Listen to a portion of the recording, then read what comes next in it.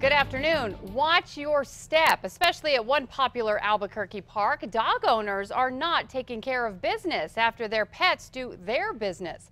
People say the city is part of the problem because the park is missing something most parks have. News 13's Marissa Lucero spoke with Parks and Rec to get answers. Marissa? Kim, there are no doggy dispensers here at the Bear Canyon Trail for dog walkers to clean up after their pets. Well, the city says there's a reason for that. It doesn't seem like people are respecting the path. Debbie Dozier bikes the Bear Canyon Trail at Arroyo de Oso a few times each week. I don't want to be riding over someone else's dog's business.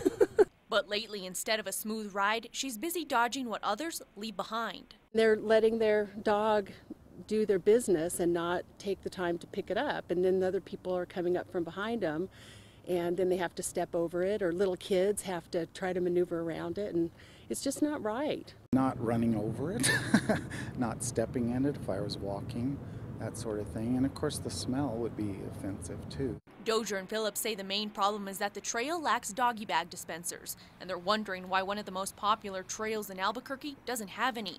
The city says the trail won't get any unless volunteers step forward. We look for a volunteer, we find a volunteer, and we put in the mutt mitt stations. The city says in order to put in a mutt mitt station, there needs to be a volunteer to refill it with bags each month. It comes down to efficiency, and we won't have a mutt mitt station that's unmanned.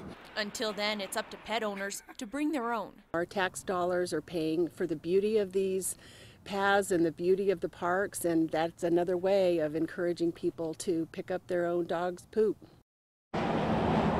It costs about $300 to put in a bag dispenser. Uh, here's another problem. We noticed a lack of trash cans along the trail, so there's nowhere for anyone to throw their bags away. Kim, back to you. Okay, thanks, Marissa. Now, people caught leaving their pets' waste for someone else to deal with, they do have to pay $50 and take a class or do community service picking up you know what.